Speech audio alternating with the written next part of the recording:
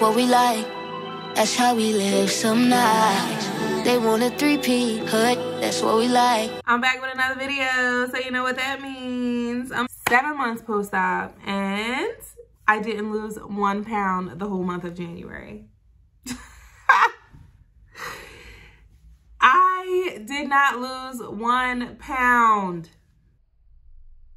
It sounds so crazy to say out loud. I have less than half of a year before I'm at my one year mark. I'm still the same weight. I hit a stall. I'm broken. I'm going back to Mexico. I'm broken. No, I'm kidding. Um, it's normal. People hit stalls all the time. This isn't my first stall. I had a stall in um October. And then in November, like I just picked right back up and start losing weight again. And I'm just like, uh, kind of annoying, but whatever. Um, this video is going to be more about the internal feels, emotions, uh, other things that I've been experiencing with my sleeve. I'm healthy, I look good, I feel good. And the most beautiful part about that is I'm already a super overzealous person. I'm really just like, you know, I have a natural lust for life.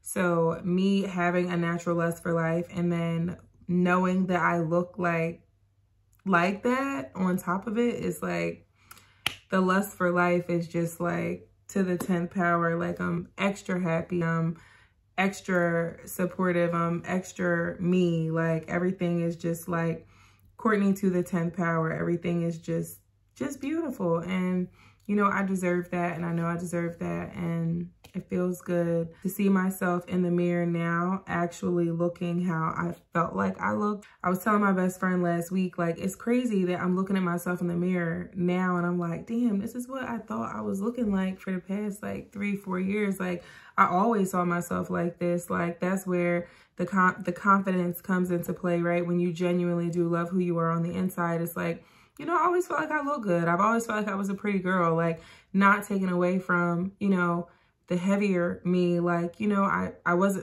a pretty girl then, but to see myself like, you know, blossoming in, um, in the light that I thought I saw myself in, I don't know how to explain it. It's just like really, really different. The genuine support that I've been receiving from my true friends and family through this process and this journey is like, I'm just, it's incredible. I'm so appreciative for them. Um, it definitely has been like up and down. It's like really a completely new body now that I have like my dream tatas. Like it's really like a whole new body. and it's definitely an adjustment. Um, you know what I mean? I feel, I feel some heat from some folk. Um, you know, I definitely feel some heat from some folk, but that's another conversation for another day. Like, I guess that's going to come like with it. Don't know. Um, I definitely do have like a little bit of body dysmorphia. Like sometimes I look at myself and I'm like, ooh, like you gotta lose some more weight. Like I do want to lose another like 30 to 40 pounds within um, the next like four months. Once I'm finished healing, I'm definitely going to get to it. But even outside of that, uh, 30 to 40 pounds that I actually do want to lose, sometimes I'd be looking at myself like, Ugh. like, you know what I mean? Like you got, you got to lose this weight. Like you got like, whoa, you just, you're 100 pounds smaller. Like relax.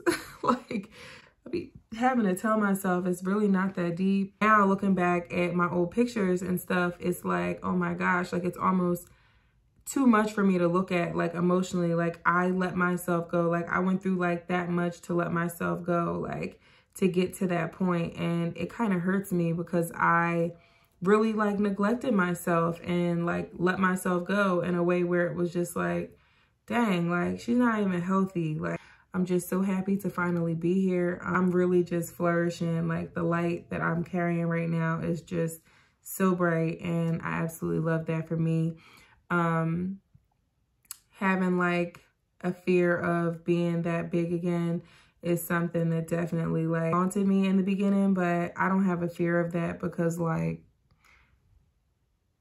hell no, just hell no, like not going back, like, mm -mm. like if I have a day where I feel like I'm eating too much, like the next day I'm be like, eh, I'm gonna just do some shakes. Like I'm a nibble. like I'm scared of that. Like, I'm done with that. I'm healthy, I'm happy, and, you know, that just means everything to me. This isn't going to be a super long video because like I don't really have much to update you guys with. I will be standing up to show you the boards. Um, but yeah, that's it. Thank you guys for watching this quick little video. Comment, like, subscribe. Follow me on Instagram at the Glass Table Girl. And if you have any questions, drop them in the comment box below.